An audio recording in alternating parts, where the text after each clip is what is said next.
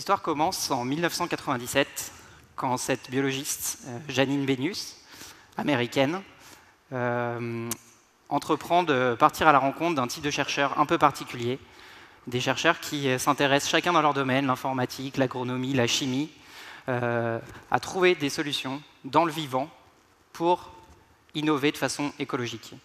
Donc Gillian va vous présenter trois différentes solutions issues de son ouvrage qui vont vous montrer le potentiel du vivant pour changer notre industrie. Alors le vivant, bah, c'est déjà un designer vraiment incroyable. Donc il est capable de faire plein de choses, et notamment de produire, de fabriquer des coquilles beaucoup plus résistantes que les plus robustes des céramiques que nous sommes aujourd'hui capables de créer. Et ça, il le fait déjà dans l'eau de mer. Euh, ensuite, un autre exemple, il est capable de créer des fibres qui euh, sont beaucoup plus résistantes et élastiques, au moins 5 fois, donc plus résistantes que l'acier. Et ça, il le fait à partir de composés organiques bénins. Et enfin, un dernier exemple euh, pour notre introduction, donc il est capable de produire des panneaux photovoltaïques auto-assemblés, biodégradables, dont la matière première n'a pas parcouru plus de quelques mètres. Alors, là où l'industrie traditionnelle euh, utilise de très hautes températures, de très haute pression et utilise l'eau en tant que solvant pour produire nos objets du quotidien, et eh ben, le biologique, le vivant, lui, il fait la même chose de façon beaucoup plus performante, mais en utilisant l'eau comme solvant, des températures ambiantes, des pressions ambiantes et des ressources localement disponibles. Alors, Mishka et moi avons été euh, fouillés un petit peu dans le vivant pour vous donner quelques exemples de stratégies ou de principes de fonction ou de mécanismes intéressants. Et là, on va vous parler déjà dans un premier temps de la tortue. Alors, la tortue, elle a, une nageoire assez particulière qui est vraiment incroyable. Donc, elle a un système de vascularisation qu'elle peut euh, mettre en mode on ou off. Lorsque l'eau est chaude, elle va donc activer son mode de vascularisation, récupérer la chaleur pour la transférer à son corps, et lorsque l'eau va être froide, elle va stopper cette vascularisation pour conserver sa température interne. Autre source d'inspiration, le tournesol. On a tous l'image du tournesol qui va suivre le soleil tout au long de la journée. De la même façon, on pourrait être intéressé à avoir un système analogue sur nos panneaux solaires qui actuellement pour la plupart sont fixes, qui pourrait ainsi optimiser l'énergie qu'ils vont capter tout au long de la journée. Euh, là, on va passer au niveau des, insectes. Alors, euh, peut-être certains d'entre vous connaissent le bombardier. Le bombardier, c'est un insecte qui est juste incroyable. Donc, il a développé une stratégie euh, pour faire face à ses prédateurs. Donc, il est capable de faire bouillir de l'eau de façon quasi instantanée par une réaction chimique qu'il produit dans son corps. Et en gros, il va faire bouillir cette eau et l'expulser directement sur ses prédateurs pour les faire fuir. Changeons d'échelle, passons des organismes aux écosystèmes. Euh, dans les écosystèmes, il y a aussi énormément de principes qui peuvent être intéressants, euh, notamment par exemple qu'un certain nombre euh, d'organismes ne vivent exclusivement sur les déchets des autres organismes de l'écosystème. Ça peut nous inspirer pour réorganiser la façon dont la matière circule dans nos régions. La termite, le termite. Le termite est donc un insecte aussi, qui lui a un, habitat assez particulier du point de vue thermique. En fait, un, il a un système de cheminée à l'intérieur euh, de l'habitat qui lui permet de réguler sa température au degré près, alors que dans son environnement désertique, la température varie de 40 degrés. Donc on a vraiment un système thermique complètement passif, très très bien optimisé. Là, on va passer à un exemple des euh, milieux marins. Euh, le nautile, alors le je pense que certains d'entre vous connaissent cette espèce. Donc il a un fonctionnement un peu particulier. Lorsque vous faites une coupe, vous voyez une structure particulière. Donc il est fait de ballast. Ce sont des petites chambres qu'il va venir remplir plus ou moins pour pouvoir, comme les sous-marins finalement, euh, descendre dans les profondeurs et expulser l'eau qu'il aura accumulée dans ces chambres-là pour remonter à la surface. L'ours polaire, aussi intéressant du point de vue de l'isolation cette fois-ci, puisque sa température corporelle est à peu près similaire à la nôtre, mais qui vit dans des environnements beaucoup, beaucoup plus froids. Comment fait-il? Eh bien, sa fourrure est assez spécifique. Elle a des poils de différentes longueurs et creux qui emprisonnent de manière très très stable une couche d'air à la surface de la peau, qui permet ainsi de l'isoler du froid extérieur. Et enfin, euh, on va vous parler aussi un peu du, toucan. Alors le toucan, si vous faites une coupe de son bec, vous le coupez à la scie, comme ça, vous allez voir qu'il dispose d'une structure qui est vraiment super intéressante. Donc il a une structure alvéolaire à l'intérieur qui lui permet d'une part d'avoir un bec extrêmement rigide, d'avoir un bec très léger et en même temps d'avoir une très très bonne isolation thermique. Donc en gros, dans la structure, il y a des poches d'air qu'il conserve euh, près de son corps pour conserver la chaleur.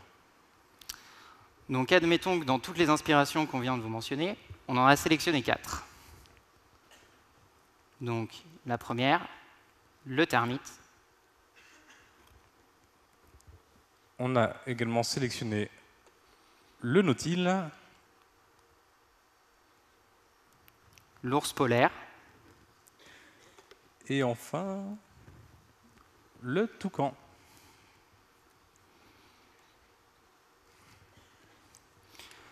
Sur la base de ces quatre inspirations, quels objets pourrions-nous inventer? Un premier éventuellement, ce serait peut-être un module de climatisation ultra léger, résistant, inspiré de la termitière et du toucan. Ou, euh, bah, moi j'aurais plutôt dit un sous-marin pour l'exploration euh, polaire, hein, donc en nous inspirant du nautile et de l'ours polaire. La réponse est beaucoup moins romantique. Il s'agit d'une bouilloire. Alors, pourquoi une bouilloire? Eh bien, en fait, derrière cet objet euh, qu'on a tous dans nos maisons se cache un certain nombre de problématiques écologiques importantes. La production énergétique, dans un premier temps, qui, euh, est une problématique notamment au niveau de l'électricité est assez importante. Deuxième élément, les matériaux, le plastique, les métaux, l'électronique éventuellement dans certains modèles. Troisième, la gestion de l'eau. On veut parler d'écologie, on veut éco-concevoir des objets, donc euh, la bouilloire est une bonne étude de cas pour montrer qu'avec le vivant, on peut innover dans ce sens-là. Alors, on a déjà commencé par réaliser euh, donc une étude autour de l'objet bouilloire, et on s'est rendu compte que 80% de l'impact environnemental de cet objet-là est lié à la consommation électrique en phase d'usage. Alors, en phase d'usage, c'est quand même une très très bonne nouvelle pour un designer et pour un bio-ingénieur. Et donc, on, euh, on a observé les usages et on s'est rendu compte de plusieurs problèmes. Et là, on s'est dit, OK, on utilise de l'eau, de l'énergie en très grande quantité pour euh, chauffer cette eau. On va donc chercher à optimiser la chauffe. On chauffe également trop d'eau, donc on va tous chauffer euh, un demi-litre ou un litre d'eau pour ne chauffer qu'une tasse, finalement, on le fait tous. On va donc chercher à contrôler le volume d'eau. Ensuite, on chauffe systématiquement à 100 degrés. C'est un de nos grands travers, alors que la, la, température idéale de la plupart des boissons se situe entre 60 à 70 degrés à peu près. On va donc chercher à contrôler la température de l'eau. Et enfin, on réchauffe fréquemment le même volume. Hein. donc on a tous laissé refroidir euh, sa bouilloire avant de se rendre compte que c'était froid, mais on relance une deuxième chauffe. On va donc chercher à isoler ce volume d'eau pour le garder chaud le plus longtemps possible. Sur la base de ce nouveau cahier des charges, nous avons donc exploré les différentes stratégies qu'offrent les espèces vivantes, les différentes stratégies qu'elles ont déjà en fait mises en œuvre pour résoudre ce cahier des charges. Donc on a été voir, euh, comme vous l'avez vu, chez les reptiles, chez les insectes, chez les euh, micro-organismes, chez les mammifères. Et... voilà. Et donc à partir de tout ça, euh, on s'est donc inspiré des principes, des fonctions, des mécanismes du vivant, de ses formes, la façon dont elle produit, dont elle fabrique les choses. Et on a généré une centaine de concepts en allant voir chez les mammifères comment ils font pour euh, isoler, par exemple, chez les espèces marines, chez les végétaux, ce genre de choses. Donc on a passé beaucoup, beaucoup de choses en revue. Et malheureusement, sur cette centaine de concepts, seule une poignée en fait était vraiment utile, euh, pour deux raisons principales. Une qu'on a déjà mentionnée en amont, qui est le fait que les systèmes vivants sont beaucoup, énormément en avance sur notre industrie en termes de production écologique. C'est-à-dire que souvent, quand on voulait se réinspirer d'un système vivant qui nous semblait intéressant, quand on le transposait dans nos procédés industriels, on perdait tout l'avantage qu'on avait en termes d'impact environnemental. Donc on a dû en éliminer énormément à cause de ça. Et deuxième solution, euh, deuxième problématique, euh, c'était le fait que, du point de vue de l'usage, quelques-unes de ces solutions étaient très compliquées à mettre en œuvre aussi. On aurait dû passer beaucoup plus de temps, chauffer notre eau que pendant une fenêtre de 5 minutes par jour où on a le soleil qui passe par la fenêtre, tout un tas de problématiques de ce type-là. Donc au final, on n'avait qu'une poignée de solutions qui nous ont donné l'objet final. Alors là, ce que vous voyez maintenant, c'est une coupe. Donc on a fait une section de l'objet pour vous montrer un petit peu comment ça fonctionne et comment on a pu s'inspirer du, vivant pour reconcevoir l'objet bouilloire.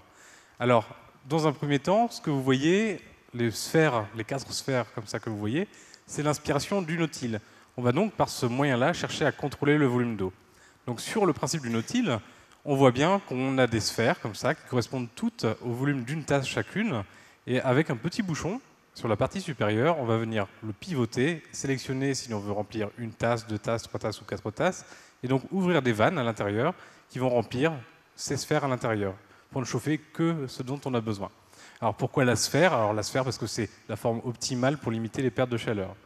Ensuite, pour contrôler la, température de l'eau, on a mis au point une petite pièce métallique qui se déforme en fonction de la température de l'eau et du coup va stopper de façon mécanique et du coup sans électronique la chauffe de l'eau euh, une fois qu'elle est arrivée à température désirée.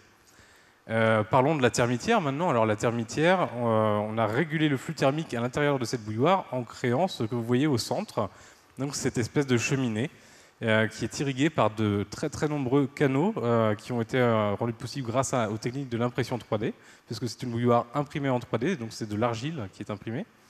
Et donc, euh, on va chauffer à la fois par l'intérieur et par l'extérieur, donc dans la matière également.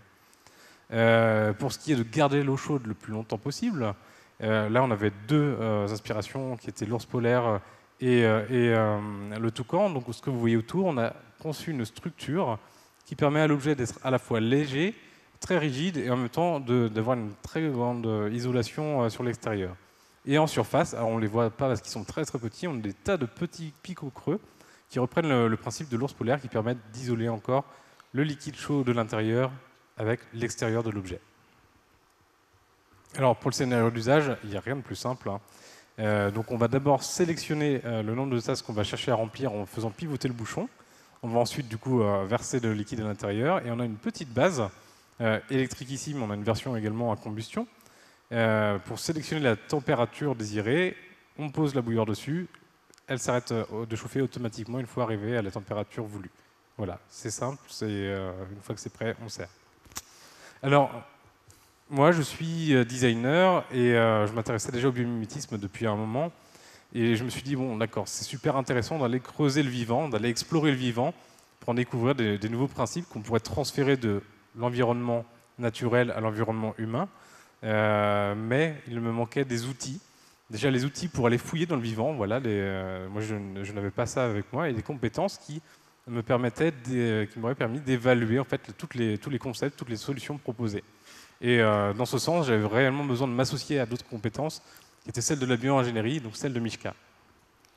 Pour ma part, euh, en tant qu'ingénieur, j'avais vu beaucoup de technologies très intéressantes, mais qui ne sortaient jamais du laboratoire à défaut de trouver des utilisateurs. Le succès d'une technologie étant le moment où elle passe la porte et qu'elle sert à vraiment un impact social. Et du coup, pour moi, c'était important de trouver avec, euh, travailler avec Gillian pour pouvoir euh, justement passer ce pont vers l'utilisateur et avoir un, réel impact social et écologique avec, avec des technologies innovantes. Alors, pour, pour conclure, donc nous avons coécrit un cahier de laboratoire pendant toute la durée du projet. Euh, donc c'était une sorte de journal intime de travail quelque part qui, euh, résumait euh, les avancées de la bioingénierie, les avancées du design. Et, finalement, c'est devenu une sorte d'ouvrage hein, qui recense énormément de, pistes pour concevoir ou reconcevoir des objets de façon biomimétique ou bio-inspirée. Et si le cœur vous en dit, bah, nous vous invitons à le lire sur le site issu, il est librement accessible. Moi, ce qui me touche réellement dans l'approche biomimétique, c'est qu'on a un aspect très lié à l'écologie, donc on pense durabilité, parce que le vivant a des solutions pour ça, mais en même temps, on n'est pas que sur le plan écologique, on est sur le plan de l'innovation également. Le vivant a développé d'innombrables stratégies, de principes ou de fonctions et mécanismes qu'on peut transférer dans le vivant, euh, l'environnement humain pour concevoir des choses nouvelles et innovantes. Et en ça, c'est un puits euh, inépuisable euh, de, solutions nouvelles pour faire des choses nouvelles. Et en ça, c'est le biomimétisme est une graine de changement. Merci. Merci.